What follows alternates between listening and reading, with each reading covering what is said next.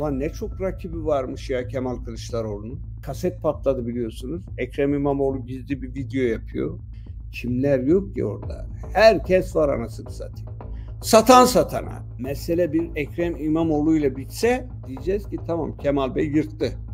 Tanju Özcan biliyorsunuz Bolu Belediye Başkanı ta Ankara'ya kadar yürüdü. Onu da koltuk fırlatar kalk o koltuktan dedi. Bu koltuk meraklısı Bay Kemal'i göndermenin zamanı geldi. Al bu koltuğu git evinde otur paraları sık. Bu arada Kemal Kılıçdaroğlu Tanju Özcan'dan nasıl nefret ettiğini bir ses kaydıyla öğrendik. Partiden atılmışsın bu adamın ne işi var? BYK'ya oturduk karar verdik partiden atılması için. Sallıyorlardı. Kazandı!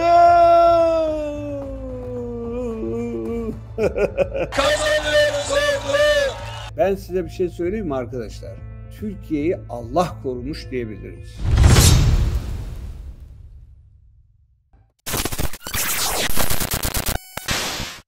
Selamun Aleyküm arkadaşlar. Yeni bir yayında daha birlikteyiz. Facebook ve YouTube kanallarımızda ortak yayın yapıyoruz. Lütfen her iki kanalımıza da abone olmayı, takip etmeyi ve paylaşımlarınızı unutmayalım. Lütfen bu videoyu beğenelim ki YouTube'un algoritması gereği herkese ulaşsın diyoruz ve günün manşetine hemen geçiyoruz. Hani kendi aramızda zaman zaman dur bakalım ne olacak, ne göreceğiz diyoruz ya seçimlerin üzerinden neredeyse iki ay geçecek. Muhalefet Türkiye'nin asli meseleleriyle meşgul olacağına kendi içindeki koltuk kavgasıyla meşgul. Seçimin üzerinden neredeyse iki ay geçti. Seçim öncesi kurdukları ittifakın aktörleri birbirlerinin kirli çamaşırlarını ortaya dökmekle meşgul. Tayyip Erdoğan'ı yenmek, daha doğrusu yemek için kimler kimlerle beraber olmuş kimler kimlere neler vaat etmiş neler. 7 Cumhurbaşkanı yardımcısı vermiş yetmemiş. Her partiye birer bakanlık vermiş yetmemiş. Kim bilir gizli ortak HDP'ye ne vermiş onu da bilmiyoruz tabii. Ama yeni öğreniyoruz ki Bay Kemal Cumhurbaşkanı olabilmek için Recep Tayyip Erdoğan'ın koltuğuna oturabilmek için her türlü pazarlığın içinde olmuş. Kimden öğreniyoruz? Tabii ki Kemal Bey'in son ortağı Ümit Özdağ'dan öğreniyoruz. Kemal Kılıçdaroğlu zafere de iki bakanlık vermekle yetinmemiş. Ümit Özdağ İçişleri Bakanı yapmış. Yanına da al sana bonus olarak MIT kardeşim. İster misin? Aa istemez miyim? Başımın tacısın Kemal Bey. Hoş CHP'yi ele geçiren Öztrak ailesinin faiki biliyorsunuz 100 yıldır atadan dededen CHP'de milletvekili oluyorlar. CHP'yi yönetiyorlar çıktı dedi ki Ümit Özdağ yalan konuşuyor. Yani Zafer Partisi ile partimiz arasında kamuoyuna açıklanan bir protokol imzalanmıştı. Ayrıca iki genel başkan arasında yapılan bir protokol daha vardı. Her iki protokolde de üç bakanlık ve MİT müsteşarlığına dair bir düzenleme, bir madde yer almamaktadır. Ama Ümit Özdağ söylediklerinin arkasında diyor ki benim elimde yazılı bir mutabakat var kardeşim. Cansu Çamlıbel'le konuşmuş Ümit Özdağ o süreci anlatıyor. Daha sonra da çıktı Habertürk'te anlattı bu meseleyi. Cansu Çamlıbel Ümit Özdağ'a soruyor. Diyor ki Kılıçdaroğlu'nu destekleme kararınızı açıklarken İçişleri Bakanlığı konusuna girmediniz. Halbuki o sabah tweet atmıştınız ve şimdi burada da Erdoğan'a ilettiğiniz taleplerin başında İçişleri Bakanlığı olduğunu anlattınız. Benim duyduğum Kılıçdaroğlu'ndan da İçişleri Bakanlığı dahil üç bakanlık sözü almışsınız. Size o sözü vermiş. Doğru mu diye soruyor. Ümit Özdağ cevaben söz vermek değil yazılı mutabakatımız var diyor. Devamında da biz İçişleri Bakanlığı dahil üç bakanlık ve Milli İstihbarat Teşkilatı konusunda Kemal Bey ile mutabık kaldık. Ya abi ne çok bakanlık dağıtmışlar ya. Ne çok Cumhurbaşkanı yardımcılığı dağıtmışlar. Ver ver ver gel gel sen de gel. Ben gitseydim acaba bana ne verirdi onu çok merak ediyorum. Temel Bey ne istiyorsun? Cumhurbaşkanlığı yardımcılığı. Yetiyor mu? Al sana bir bakanlık. Yetiyor mu? Al sana bir bakanlık daha. Ama yetmez. Al sana o milletvekili. Ali Babacan, vallahi ben onunla yetinmem bak Kemal Bey haberin olsun. Ne istiyorsun? Cumhurbaşkanlığı yardımcılığı. E bakanlıklar kim bilir Ali Babacan kaç bakanlık talebinde bulunmuş. Başka efendim yani 10 değil 15 milletvekili istiyoruz. Biz yeni bir kadroyuz. Biz ben ben Türkiye'yi kurtaran adamım. Ya sıfırlara attım. Şunu yaptım. Para getireceğim. Sen bana güven. Ver 15 milletvekili gerisine karışma. Tabi Ali Babacan 15 milletvekili koparır da Ahmet Davutoğlu boş durur mu? Karşılıksız destek olur mu? Olmaz. Ne istiyorsun? Bir kere bir Cumhurbaşkanlığı yardımcılığını kesin olarak şuraya koyalım. Al. Al hemen al. Hemen hemen tabii. Başka 10 milletvekili değil de 15 versen olmaz mı? Aa, abartma, abartma Ahmet Bey. 10 milletvekili. E, tamam ona razıyız da kaç bakanlık? 2 mi, 3 mü? Kendisi bilmem neyinden sorumlu Dışişleri Bakanı mı olacak? Başka birileri gelip başka bir şey mi olacak? Bunların pazarlığını çok iyi yaptılar ve Kemal Bey'den herkes istediklerini aldı. Sonra 14 Mayıs seçimleri oldu. Milletvekillerini alan aldı, bakanlıklar başka bahara. Biliyorsunuz bunların sloganı baharda neydi? Sana söz yine baharlar gelecek. Bahar geldi ama size gelmedi. Meral Akşener'e gelince zaten içten içe kendini yiyormuş. 15 milletvekilini biz niye bunlardan aldık? Biz niye bu hale geldik? Biz niye bunlara boyun eğiyoruz? Neden Cumhurbaşkanı adayı Kemal Kılıçdaroğlu oluyor?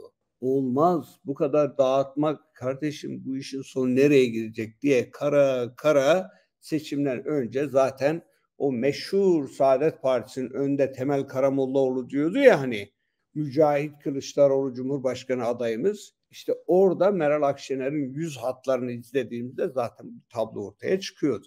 Demokrat Parti zaten keyfi yerinde gıcır. Ne verirsen razıyım. Allah razı olsun.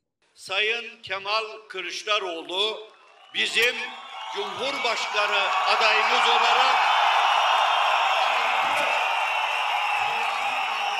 Sonra biliyorsunuz Ümit Özdağ'la bir araya geldiler, konuştular ve meğer Ümit Özdağ üç tane bakanlık istemiş. O da yetmemiş. Kendisi İçişleri Bakanı olacakmış. Süleyman Soylu'nun koltuğuna oturmaya çok hevesliymiş ve bununla da yetinmemiş. Bir de MİT başkanlığını bize vereceksiniz demiş ve de yazılı mutabakat olmuş. Bu konu yazılı mutabakata alınmış mı? Cansu Çamlıbel soruyor. Yani kamuoyuna açıkladığınız yol haritası dışında bir de gizli yazılı bir mutabakat mı yaptınız? Doğru mu? Var tabii. O açıklanmadı. Ben de şimdiye kadar açıklamadım diyor. MİT başkanlığı içinde sözlü anlaşma yaptık. Tabii Cansu'nun kafası karışıyor. Ulan ne oluyor ne bitiyor yani Kemal Bey bu kadar dağıtmış falan. Hemen araya giriyor diyor ki burayı bu kadar hızlı geçmeyelim. Yeniden sormak istiyorum. Kılıçdaroğlu'nun seçimleri kazanması durumda Zafer Partisi'ne İçişleri Bakanlığı dahil 3 bakanlığın yanı sıra MİT başkanlığını vereceği konusunda yazılı mutabakat imzaladı mı? MİT başkanı da Zafer Partisi'nden olacaktı. Doğru mu? Ümit Özdağ cevap veriyor. Hiç öyle rahat bir şekilde. Yalan konuşmadığı anlaşılıyor zaten. Evet MİT başkanlığı da ama o sözlü anlaşmaydı. Bakanlıklar yazılı mutabakatta vardı. Vay vay vay vay. Anam vay. Peki Ümit Bey siz hangi görevde olacaktınız?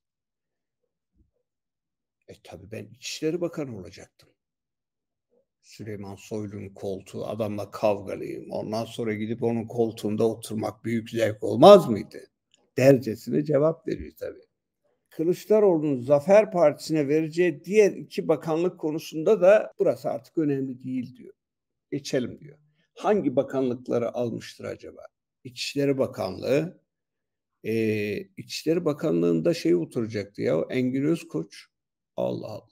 Engin Özkoç'u o günden satmış demek ki Kemal Kılıçdaroğlu. Sonra Adalet Bakanlığı neyse orası biraz karışık.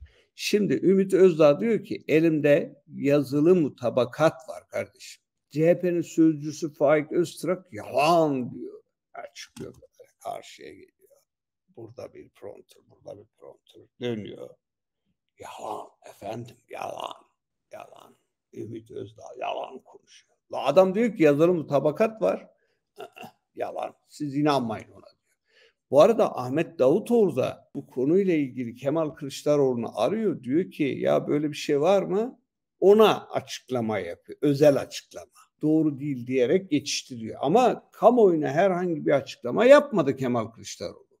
Şimdiye kadar herhangi bir şey duydunuz mu? Hayır. Ben duymadım. Beyefendi şu sıralar rakiplerini nasıl alt edeceğinin derdine düşmüş arkadaşlar. O yüzden açıklama yapmaya vakti yok. Ha rakipleri derken Recep Tayyip Erdoğan'dan söz etmiyorum ha. Malum.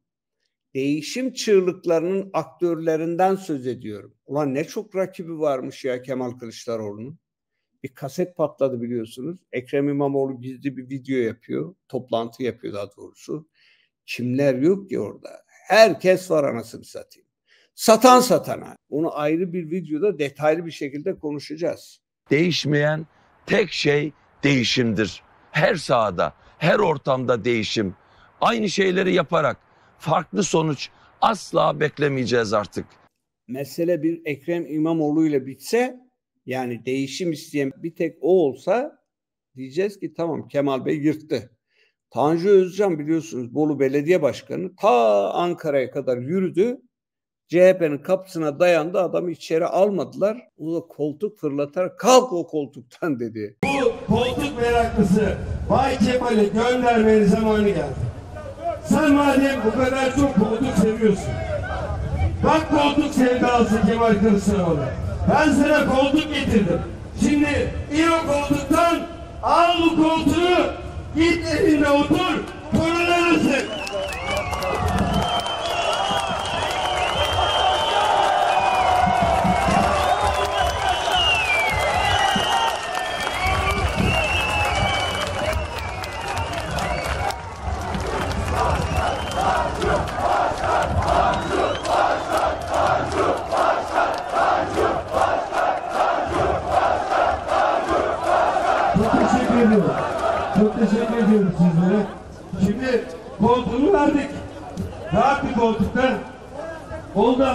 Hasiyetle yaptırdım.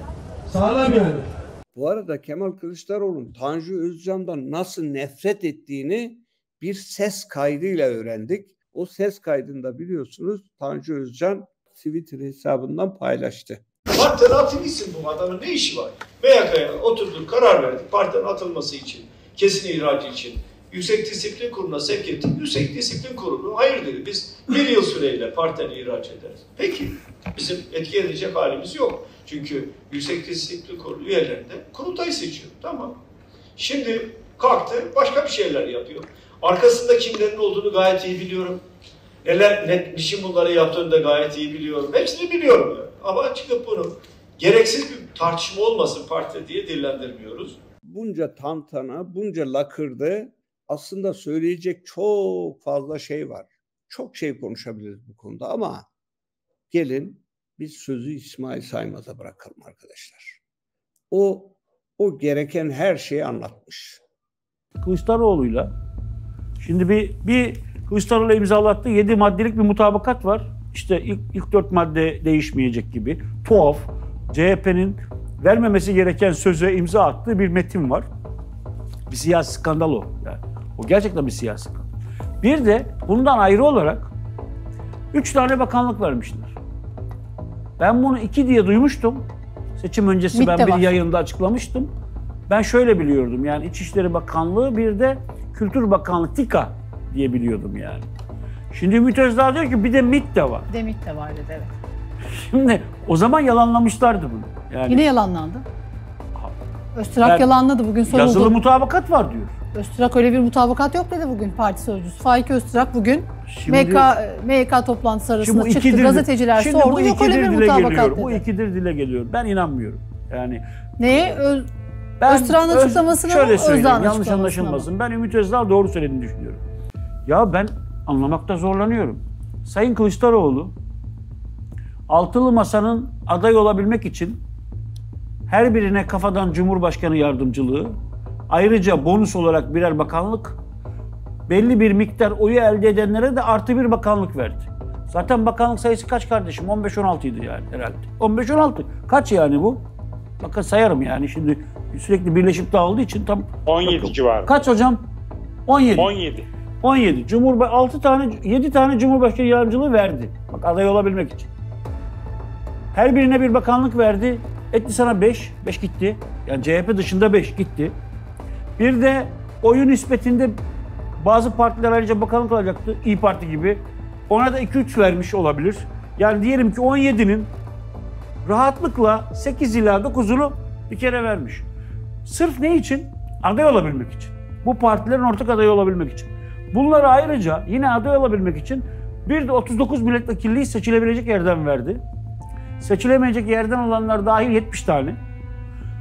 Bu paketin yanı sıra Sayın Kılıçdaroğlu bu kez seçilebilmek için de Ümit Özdağ Zafer Partisi'ne 3 bakanlık artı MİT'i vermiş. Cumhurbaşkanlığını kime verdi acaba? Merak ediyorum yani. Cumhurbaşkanlığını kime verdi? Sayın Kılıçdaroğlu'nun şu son seçimde sadece aday olabilmek için dağıttıkları verdiği sözler ve ve aday olduktan sonra ayrıca ayrıyeten Ümit Özdağ e, verdiği taahhütlerin her biri hem taahhüt hem de yazılı olarak imzaladıklarının her biri siyasi açıdan e, e, mutlaka izah edilmesi e, ve açıklıkla anlatılması gereken e, başlıklardır. Aksi takdirde gelecekte bir siyasi skandala dönüşecek. Dünyada bu kadar siyasi, rahat, bu kadar gevşek bir siyasi gör, parti görmedim. Şu, yani hadi diyelim orada artı bir bakanlık oyu nispetinde birer bakanlık daha dağıtılmış böyle kandil şekeri gibi. Buradan da 3 2 3 bakanlık bir MİT daha dağıtılmış. Hiç kimse bununla ilgili e, doyurucu bir açıklama yapmıyor. Yapılmadığı gibi, yapılmadığı gibi e, Sayın Kılıçdaroğlu e, e, seçim mağlubiyetiyle ilgili daha önce daha önce hem kendisi hem ortakları bu hayati seçim, bu dönüm noktası, efendim 100. yılı alamazsak 200. yıl kapkara olacak, e, bu, bu son viraj benzetmeleriyle e, seçmeni motive ettikleri bu seçimi kaybetmeleri sonrasında şöyle bir rahatlığa sahip oldular. Efendim ne yapalım? Dünyanın sonu değil. Sayın Kılıçdaroğlu önce bunu Barış Arkadaş ve Gürkan e, Acır'a. Gürkan Acır'a verdiği söyleşi de e, dünyanın sonu değil diye izah etti. Sonra geçen gün yine e, Saygı Öztürk'e konuştu. Saygı Öztürk'le yaptığı röportajda yine aynı aynı manada bir cümle kullandı.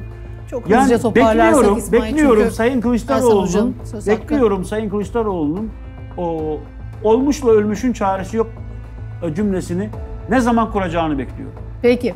39 milletvekili dağıtmış.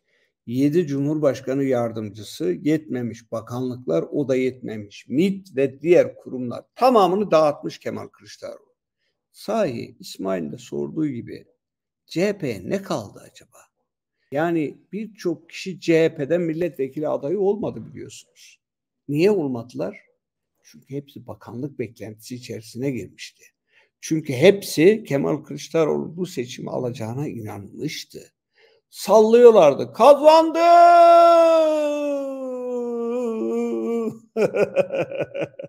aramızda kalsın size söyleyeyim. Kazanıyoruz! Kazanıyoruz ordu! Her şey çok güzel olacak. ben size bir şey söyleyeyim mi arkadaşlar?